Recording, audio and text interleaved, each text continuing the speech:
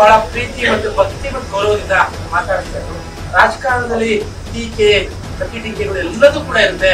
Mentally prepare ಆಗಿದ್ರೆ ಅಥವಾ? ಅದು ಸಹಜ. ರಾಜಕೀಯದಲ್ಲಿ ರಾಜಕೀಯ ಮಾಡೋದು ಸಹಜ. ಅದು ಹಾಗೆ ಆಗುತ್ತೆ. ಅದೆಲ್ಲಾನು ನುಂಗ್ಬೇಕು ನಾವು.